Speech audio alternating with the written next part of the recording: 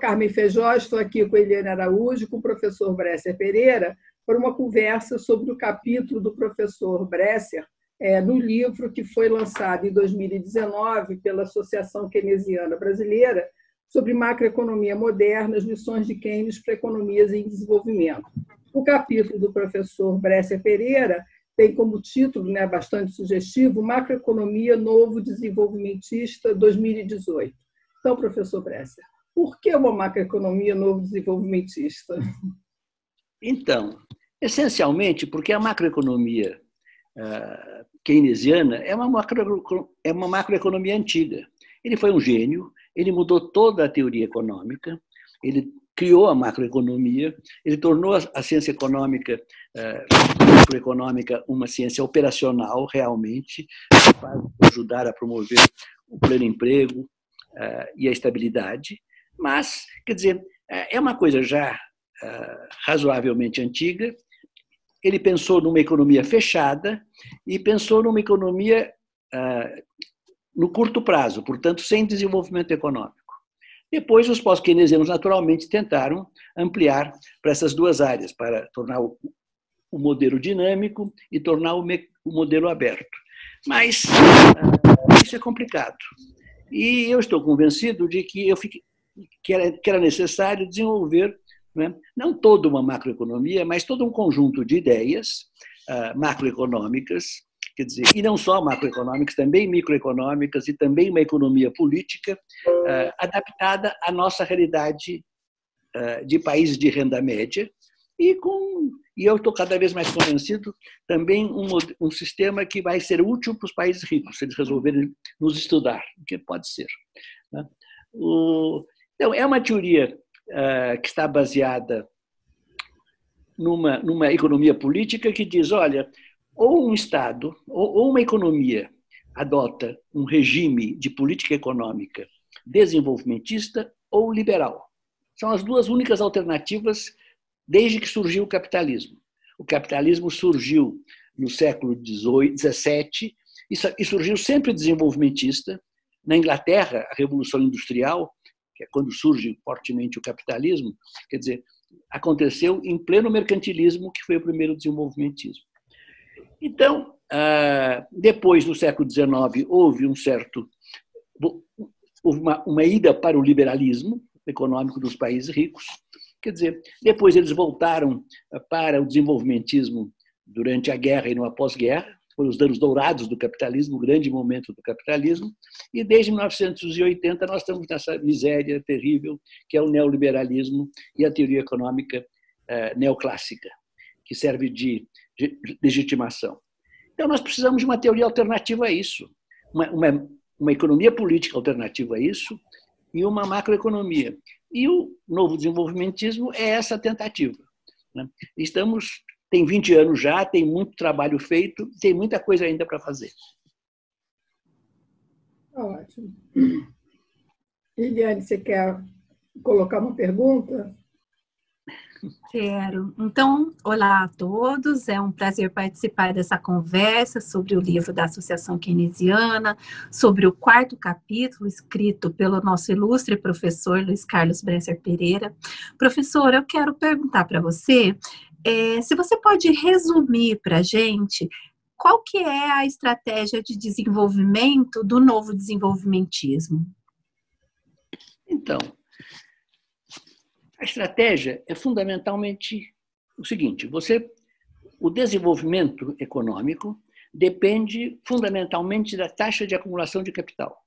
Naturalmente, capital com incorporação de progresso técnico.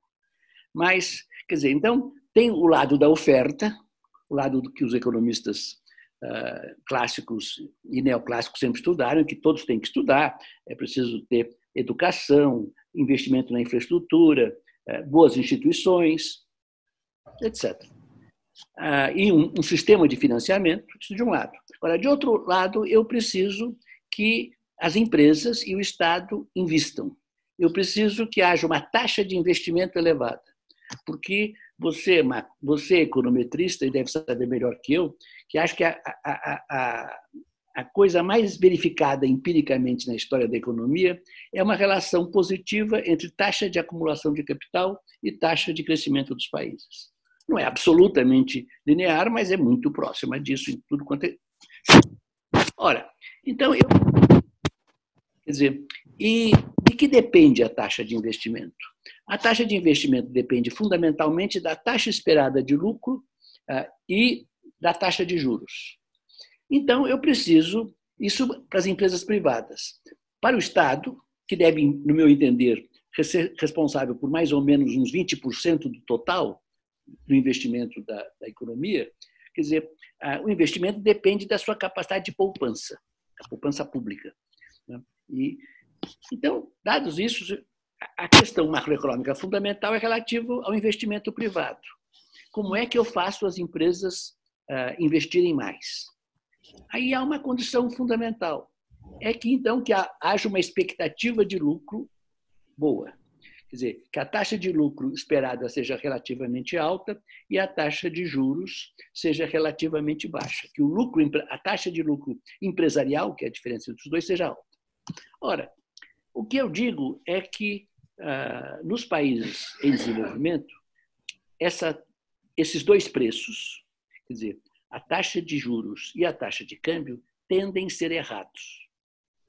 Na verdade, essa teoria diz que há cinco preços macroeconômicos e que o mercado é absolutamente incapaz de manter corretos os cinco preços macroeconômicos. Isso é uma coisa muito nova. Quer dizer, quando se pergunta o que é um economista desenvolvimentista, geralmente se diz é aquele que defende política industrial. Sem dúvida, eu também defendo política industrial. Mas, a meu ver, a ver na, na visão novo desenvolvimentista, o que é fundamental para um país ser realmente um país desenvolvimentista, o que tornou desenvolvimentistas os países do leste da Ásia, que os tornaram ricos, foi, em primeiro lugar, terem os cinco preços macroeconômicos muito bem administrados para se manterem certos.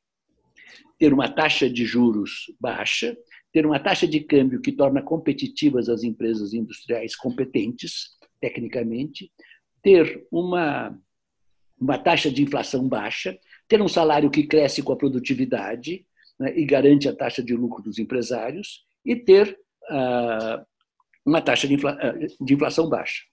Esses são os cinco preços macroeconômicos que é preciso administrá-los. Aí essa teoria diz mais, claro.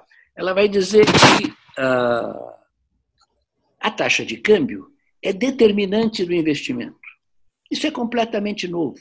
Isso não está na teoria keynesiana, isso não está na teoria neoclássica, isso não está nos livros de, de desenvolvimento econômico, uh, nem nos livros de macroeconomia aberta. A taxa de câmbio é uma coisa que os economistas pensam como algo de curto prazo, que tem, um, que tem uma flutuação, uma mobilidade muito grande, né? uma volatilidade muito grande. Então, quer dizer, você isso não tem nenhum efeito real sobre o desenvolvimento econômico, ou tem muito pouco.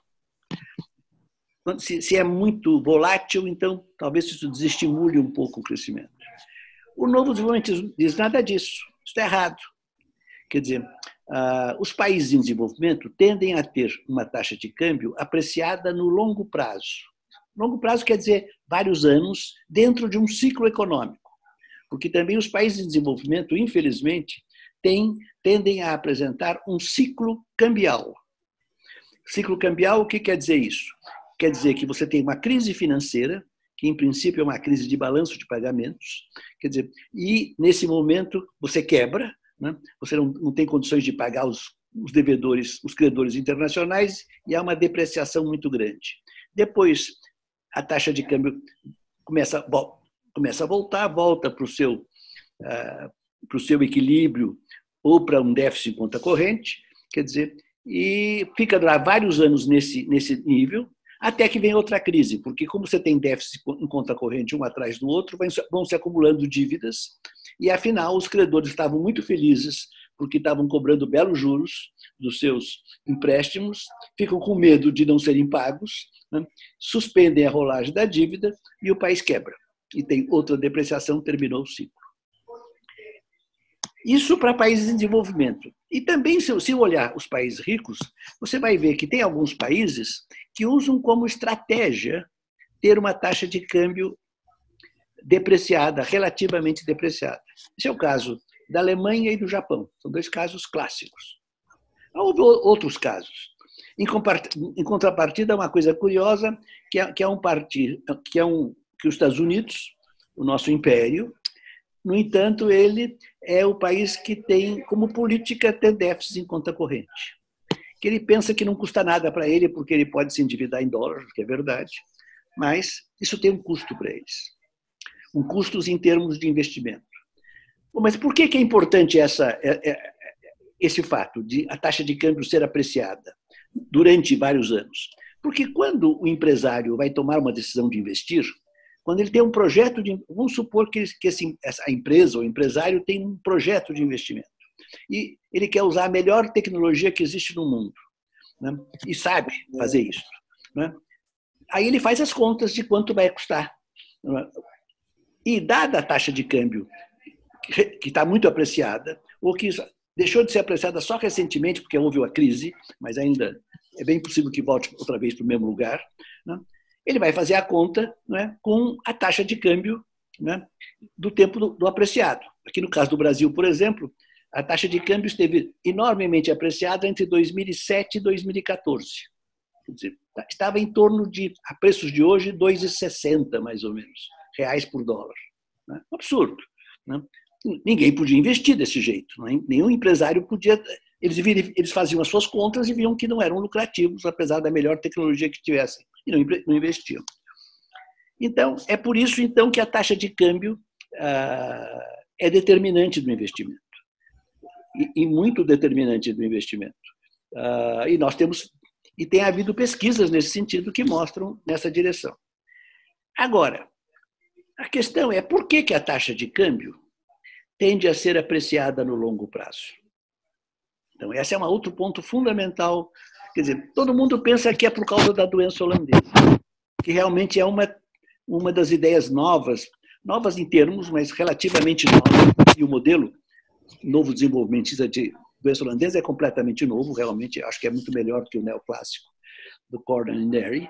Quer dizer, esse, quer dizer, a explicação para, o, para a taxa de câmbio ser apreciada, a primeira e mais geral é que os países em desenvolvimento acreditam que é possível crescer com poupança externa. Poupança externa quer dizer ah, déficits em conta corrente, e esses déficits, então, ah, eles esperam que esses déficits sejam financiados com investimentos diretos, e esses investimentos diretos, então, aumentam a taxa de investimento do país e o país cresce com poupança externa. Então, muitas pessoas dizem que uma teoria nova é realmente interessante, importante, quando ela é contraintuitiva. Você pegue, por exemplo, o caso de Keynes. Uma das coisas contraintuitivas mais interessantes foi quando ele disse: olha, não é a poupança primeiro e o investimento depois. Não é a teoria do porquinho, a das crianças. Né? A coisa é outra. Você primeiro investe e aí então a renda aumenta e a poupança aparece. Isso era contraintuitivo. O que o novo desenvolvimentismo diz a respeito do, do chamado, da chamada poupança externa ou da estratégia de crescimento com déficit em conta corrente, diz o seguinte: não é natural Todo mundo pensa que é natural. É natural que países ricos em capitais transfiram seus capitais para países pobres em capitais. Portanto, o que os países pobres em capitais, como o Brasil, devem fazer é tentar convencer os países ricos a transferir seus capitais para cá. Isso completamente errado isso. Por quê? Por, uma motivo, por uma razão muito simples. Porque isso torna a taxa de câmbio apreciada no longo prazo. Como? Por, por um motivo muito simples. Porque a taxa de câmbio tem um equilíbrio, não é que seria o equilíbrio de mercado, não é? dado pela oferta e procura de, de, de bens e serviços no comércio exterior do país. Agora, ela tem também os, as entradas e saídas de capital. Ora, é tem, tem, muita gente que diz que as entradas e saídas do capital são muito difíceis de controlar, difíceis de não controlar, muito difíceis de medir, e ficou muito difícil fazer uma previsão da taxa de câmbio. É verdade que atrapalhou um pouco. Mas, se nós pensarmos um minuto, né, no momento em que um país tem um déficit em conta corrente, isso significa que ele está tendo uma entrada adicional de capitais líquida, né, igual àquele déficit. E que essa entrada vai continuar durante anos e anos enquanto o déficit estiver lá. Ora, isso significa que, essa, que, a, sua taxa, que a taxa de câmbio do país vai ficar apreciada. Vai ficando apreciada, o que, que acontece? Quer dizer, as empresas deixam de ser competitivas, os, pro, os, novos projetos de investimento deixam de ser competitivos, você não investe ou investe muito pouco. Em contrapartida, os rendimentos, não só dos trabalhadores, mas também dos rentistas, rentistas quer dizer aqueles que vivem de aluguéis, juros e dividendos, também aumentam o, valor, o poder aquisitivo de, deles. E o que, que fazem os trabalhadores e os rentistas? Aumentam o seu consumo. Resultado: você se endivida, não investe, mas consome, e depois você, mais, mais cedo ou mais tarde, quebra. Né? Ah, certamente cresce muito menos. É, ótimo, professor. Obrigada pela resposta. Um bom resumo das principais ideias do novo desenvolvimentismo. Carmen, você gostaria de fazer uma pergunta agora? Ah, então, é, eu acho que vou trazer então um pouco mais para o momento atual. Nós estamos gravando então dia 3 de setembro de 2020, né, no ano esse ano da pandemia, mas o nosso o problema do, das economias como um todo, mas do Brasil, né, em especial, é que nós né, perdemos a nossa capacidade de crescer. Né? Então, não só estamos numa crise, como está o resto do mundo, mas a nossa crise tem um tom particular que é a nossa longa estagnação. Né? E, então, como que, com a teoria novo desenvolvimentista, a gente pode entender essa longa estagnação? Não, veja, então, eu disse que as duas causas fundamentais são baixo investimento do setor privado e baixo investimento do setor público. Ah, eu fiz uma comparação entre os, os anos 70, o Brasil só cresceu forte realmente ah, nos anos 70. Depois disso, em 1980 começou a crise da dívida externa e a alta inflação, e em 1990 começou a adoção dos programas de política liberal. E o Brasil está semi-estagnado desde então. Cresce a uma taxa de 0,8% per capita ao ano, enquanto que os países ricos crescem a 1,5%, quase o dobro, e os países ricos, os países em desenvolvimento crescem a 3% ao ano. Então, estamos ficando para trás, para trás. Quer dizer, e nesse processo, o que diminuiu, diminuiu os investimentos públicos diminuíram mais do que os investimentos privados. Os investimentos públicos representavam coisa de 7% do PIB. Quer dizer, hoje representam 2, 3. Né? Então, isso foi uma, uma coisa muito ruim. E isso aconteceu fundamentalmente porque o Estado deixou de poupar. Quer dizer, porque há uma alta preferência pelo consumo imediato, tanto de trabalhadores quanto de rentistas. Então, tudo que tem de renda, quer dizer, ou você gasta, quer dizer, gasta bem quando você gasta na área social, gasta mal quando você gasta uh, em aumento de salários para os servidores públicos que não, não são razoáveis, né? gasta mal e pessimamente quando você gasta para juros, como nós gastamos. Então, uh, o que que o, Brasil, o que o Brasil precisaria fundamentalmente era voltar a ter uma poupança pública e voltar a e ter uma taxa de e uma taxa de juros baixa. Agora, o interessante é o seguinte, é que nós temos agora a taxa de juros baixa e a taxa de câmbio está até depreciada demais. Por que isso? A razão é muito simples, é porque o Brasil, quer dizer, que está semi-estagnado, quando chegou em 2014, né, entrou numa, numa grande recessão. Né. Essa grande recessão aí foi, foi atacada primeiro pela Dilma e depois pelos mesmo pela Dilma, de maneira completamente equivocada, né, com o Joaquim Levin de Harvard, de, de Chicago, né, no Ministério da, da Fazenda. Quer dizer, e então nós entramos numa depressão caindo 3,5% durante em 2015 e 2016. E depois a retomada foi muito fraquinha, coisa de 1%. Hum. Quando, normalmente, quando você sai de uma crise dessa, você tem taxas de crescimento boas. Não houve. Ou seja, o Brasil, desde 2014, está em crise econômica. E estando em crise econômica, quer dizer, quando você está em crise econômica, a taxa de câmbio está muito apreciada.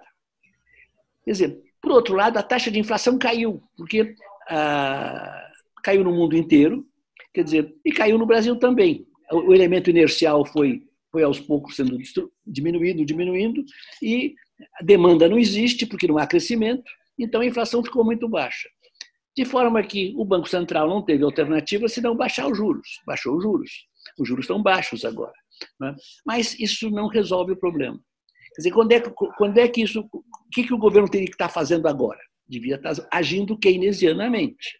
Isso o novo desenvolvimentismo não tem nenhuma coisa que seja nova. A coisa é keynesiana mesmo. Você precisaria, quer dizer, fazer um investimento contracíclico forte na área, na área do investimento, segurando o gasto de consumo. Você precisaria, a meu ver, fazer um, um, aumento de impostos, por isso a nossa taxa, a nossa carga tributária, uh, ela parou de crescer em 2003, no ano em que o Lula assumiu o poder. Os, os economistas liberais dizem que o PT fez uma festa fiscal uh, no Estado brasileiro. É falso, é só olhar a carga tributária. Quer dizer, ela subiu muito no governo Fernando Henrique, muitíssimo, e parou desde então, né, em torno de 32%, 33%. Então, só que os, as responsabilidades do Estado na área de saúde, especialmente, aumentaram muito. Uh, e na área de educação também. Então, é preciso que o Estado, e, o Estado precisa também investir. Então, preciso, o Estado precisa não só usar melhor os recursos, mas precisa né, ter uma receita um pouco maior. Os 32% não são suficientes. Quer dizer, e o Estado precisa deixar claro que o seu Banco Central, o seu governo, vão manter a taxa de juros e a taxa de câmbio no lugar certo. Quer dizer, quer dizer é preciso que os, só existe investimento e crescimento quando há confiança. E confiança em quê? Não é simplesmente confiança que não vai ter inflação. Nós não queremos inflação de jeito nenhum, mas também nós não queremos câmbio apreciado e nós não queremos juros altos. E isso tem que ficar claro para os empresários, porque aí então eles poderão ter, vendo que o Estado tem esses compromissos e razoavelmente os cumpre, quer dizer, eles poderão fazer seus investimentos sem excesso de risco. Ah, ótimo. Acho que é isso, né? Acho que é isso, obrigada. Não, com certeza absoluta, né? Então, o que está faltando é um Estado desenvolvimentista, né?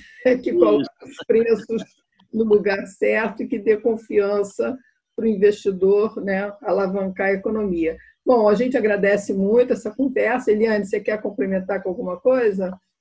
A gente pode se despedir. É. Acho que nós podemos nos, nos, despedir. Agradeço ao professor Bresser pela conversa, agradeço a Carmen pela parceria no livro e também na conversa de hoje. É, acho que a gente pode encerrar, né? É, quem se interessar pelo conteúdo do livro, as informações estão na página da Associação Keynesiana. Vocês vão ter o privilégio de ler vários capítulos super, super interessantes, e dentre eles o capítulo que o professor essa já deu uma palhinha aqui para a gente hoje. Tá ótimo. Então, obrigada.